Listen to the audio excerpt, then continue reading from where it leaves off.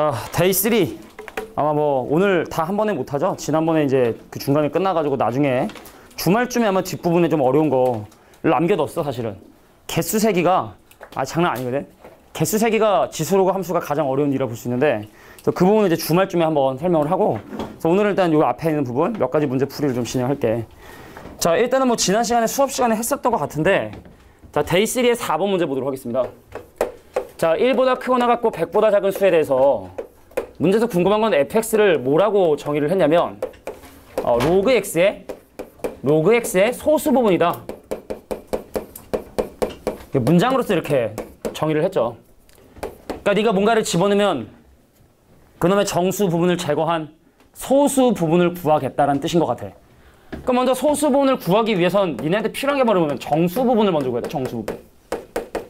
정수 부분이 과연 얼마일 것이냐. 미치시민 로그에.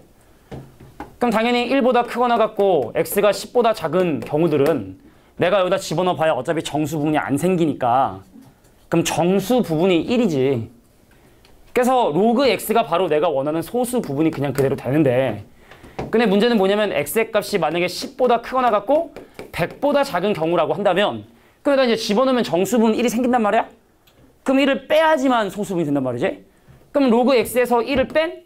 그래서 로그 x의 마이너스 1이 x가 10보다 크거나 같고 100보다 작거나 같은 구간에서 니네가 그려야 되는 함수가 된다는 뜻입니다.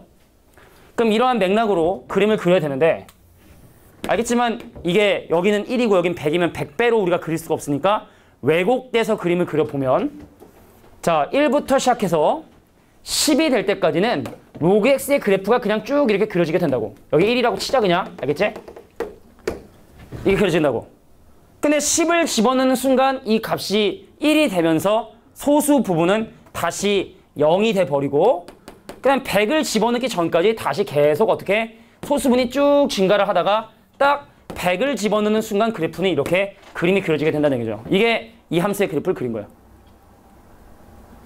자, 그러면 얘하고 누구하고 y는 2-n분의 x라고 하는 n값에 관계없이 항상 0,2를 지나는 이 점을 지나는 직선이 얘하고 서로 다른 두 점에서 만나도록 하고 싶대.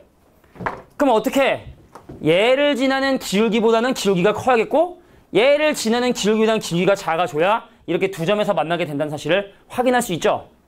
그 얘는 x값이 10 증가한 동안 값이 두 개만큼 감소했으니까 이 친구의 길기는 마이너스 5분의 1이고 얘는 x값이 10 증가 한 동안 y값이 하나밖에 감소를 안 했기 때문에 얘는 기울기가 마이너스 10분의 1이고 그래서 나의 기울기가 이 사이에 있어야 되는 거구나. 얘보다는 크거나 같아야 되는 거고 얘보다는 작아야 되는 거나 근데 기울기가 마이너스 n분의 1이거든. 그러니까 양변에 역수를 하고 부동의 방향을 바꿔주면 n값은 5보다 크거나 같고 10보다 작거든. 그러니까 얘를 만족하는 건 5개. 5, 6, 7, 8, 9. 다섯 개가 존재하게 된다. 자, 이게 이제 3번에 4번 문제였습니다. 정역을 한 천까지 해도 될 것 같은데, 그지? 그래서 뭐 두 점이 아니라 세 점에서 만나기 위한 조건 이런 것도 물어볼 수 있을 것 같고, 그지? 아니면 숫자가 너무 크냐? 그럼 밑에다가 밑을 한 2나 3 같은 거 좀 집어넣어서 해주면 숫자 범위가 그렇게 크지 않으니까 또 생각할 수 있겠고, 뭐 다양하게 변형될 수 있는 문제라고 생각을 합니다. 4번이었어.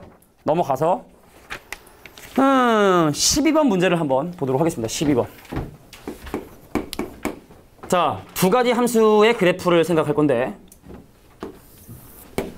먼저 한 함수는 알겠지만 0,1을 지나는 가장 기본적인 지수함수 y는 2의 x승이란 그래프고 그 다음에 밑에 있는 친구는 대칭 이동을 좀 한 것 같아. 자, 이거 뒤에 있는 이 지수함수의 그래프 그릴 수 있겠니? 어떤 함수냐면 y는 4에 x 빼기 2인데 여기 마이너스 들어갔기 때문에 야, 봐. 나영아? 음. 평행 이동은 나중에 생각하는 거야. 그리고 대칭 이동도 좀 이따 생각을 해봐. 그러니까 원래는 y는 4의 x승의 그래프를 양변에 마이너스가 아니라 y 대신에 마이너스 y를 대입한 게 넘어온 거거든. 그럼 x축에 대칭 이동을 해주고 대칭 이동이 먼저야. 그 다음에 오른쪽으로 이만큼 평행 이동하는 거야. 그러니까 원래는 0,1을 지나는 증가함수였던 놈이 다시 한번 y 대신에 마이너스 y를 대입한 게 넘어온 거야. x축에 대칭 이동을 해주시고 이렇게 그러니까 걔를 오른쪽으로 이만큼 평행 이동하라 했으니까 오른쪽으로 원, 투만큼 평행 이동한 y축 방으로는 평행 이동하지 않기 때문에 점근선은 바뀌지 않고요. 그럼 이제 2, 마이너스 1을 지나게 되는 이런 감소 함수의 그래프가 그려지게 되는 거죠. 그런데 얘가 어쩌라고? 이 두 개의 그래프와 y축과 평행한 직선이 만나서 생기는 점을 A하고 B라고 얘기를 했을 때 이 문제가 지금 현재 얘기하고 있는 건 바로 뭐냐면 OA의 길이하고 OB의 길이가 서로 같다면 과연 이 도형의 넓이가 과연 얼마가 되느냐를 물어보는 문제가 됩니다. 그래서 이 점의 좌표를 내가 K, 2의 K승 그럼 이 점의 좌표는 K, 마이너스 4의 K 빼기 2승 그럼 이제 이 점의 좌표가 지금 현재 0,1이기 때문에 그럼 사실은 얘랑 얘랑 이 점과 점 사이 거리를 구하면 좀 빡세지지 않을까? 그럼 이등변 삼각형이면 여기서 꼬소발을 딱 내리게 되면 얘를 수직 이등분 하게 되잖아, 그제? 그럼 여기부터 여기까지 길이 두 점의 y좌표 차이인 2의 k승 빼기 1과 그 다음 얘하고 얘 차이 이 점의 y좌표 1과 이 점의 y좌표 차이 그럼 1에서 얘를 빼니까 다시 더하기 4의 k 빼기가 될 텐데 자, 이 둘이 서로 같다라고 하는 이 방정식을 해결해 주시면 k 값을 구할 수 있는 거죠. 그러면 이제 4의 마이너스 2승인 16분의 1이 들어가고 4의 k승 널로 와 그럼 마이너스 2의 k승에 숫자 넘으면 더하기 2는 0이 되게 됩니다. 그래서 2의 k승을 t라고 치환하고 양변에 16을 곱해주면 t제곱 빼기 16t에 더하기 16 곱했으니까 32는 0. 그럼 이게 뭐지? 뭐하고 뭐의 곱이지? 뭐하고 뭐의 곱일까? 누가? 84? 아닌데 12하고 어, 누구지? 나 뭐 잘못 계산했어? 16 곱하고 계산했는데 자 인수분해 안 되니? 뭐하고 뭘로 아예 안 돼?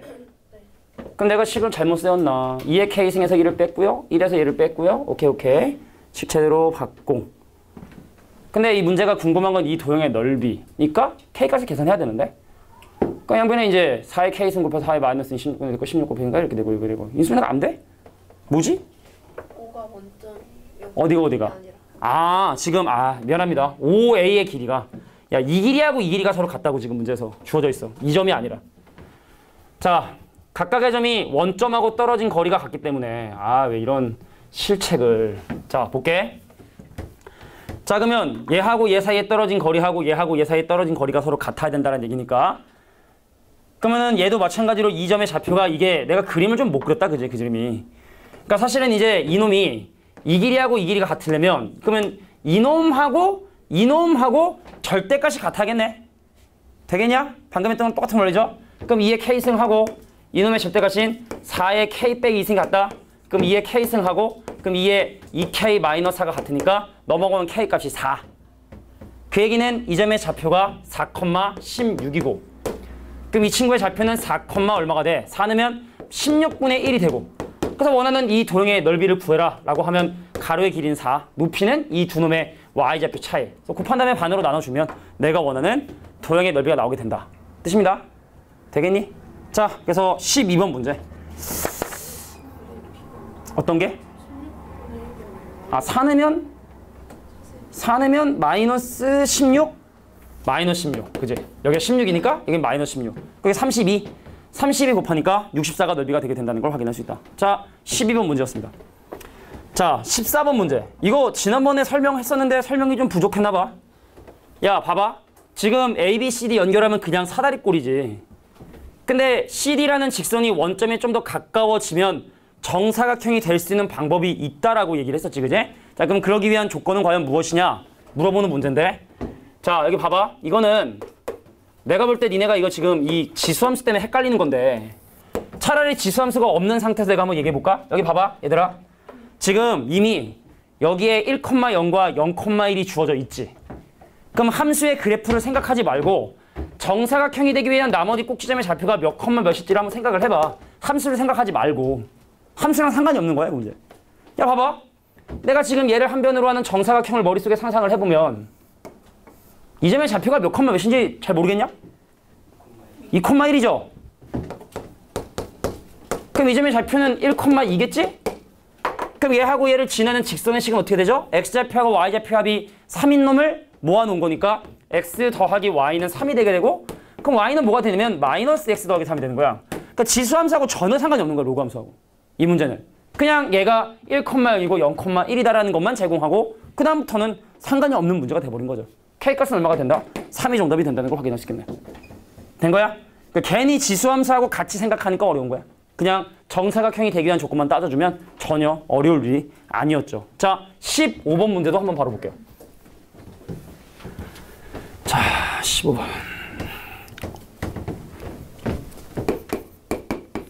자, y는 a의 x승과 얘 이거 둘이 서로 역함수의 관계에 있는데 그래서 이 교점은 분명히 어디서 나타나게 되냐면 y는 x란 위에서 점을 나타낼 수밖에 없다. 근데 거기 지금 그림에 나와 있는 두 개의 사각형이 서로 무슨 도형? 합동이라고 얘기를 했으니까 그럼 그걸 이용해서 a 값을 지금부터 계산해 보고 싶은 거야. 자, 봐봐. 자, x축이 있고 y축이 있는 상황에서 너랑 나랑 만난다면 y는 x 위에서 만나게 되는데 근데 그 두 사이의 사각형이 서로 합동이라고 얘기를 했으니까 첫 번째 그 점의 좌표를 예를 들어 k, k라고 한다면 두 번째 교점의 좌표를 뭐라고 잡을 수 있냐면 2k, 2k라고 잡을 수가 있다는 얘기입니다. 이해가 되겠니? 그 사각형이 합동이라고 얘기를 했으니까. 그러면 이제 이놈을 지수함수에 넣을까 로그함수에 넣을까? 지수함수에 넣을까요? 로그함수에 넣을까요? 지수에 넣겠지? 선생님 k가 나왔어요. k를 넣었더니 이 k가 나왔어요. 몰랐더니 이 k를 집어넣었더니 그 얘를 가지고 a하고 k에 관한 연립 방정식을 풀어주면 되는 거야? 되게 복잡해 보이지만 단순화 된다고. 여기 있는 이 두 개의 사각형이 서로 합동이라는 걸 어떻게 표현할 것인가? 좌표로서 표현을 해야 되는데 k, k, 2k, 2k. 그럼 이제 계산해주면 되거든. 그럼 얘를 얘로 나눠. 2 되냐? 얘를 얘로 나눠. 그럼 a의 k승 되니? 그럼 a k승이 2네. 그럼 얘가 2네. k가 2네. 그러면 a의 제곱이 2네. 그럼 a 것은 루트 2네. 정답은 1번이 바로 정답이 되겠다. 이런 얘기죠. 너무 험해? 그냥 연립방정식 푼 건데 뭐. 나눠서 2는 a k승. a k가 2야? 얘가 2니까 k는 2. 2 넣으면 2의 제곱이 그래서 2는 루트 2다. 단순하게 해결이 됐네요. 이게 15번 문제였네요. 자 뒤로 넘어가서 우리가 숙제가 몇 번까지였다고? 16번 까졌어? 그럼 일단 여기까지 뭐 끊고 갈게.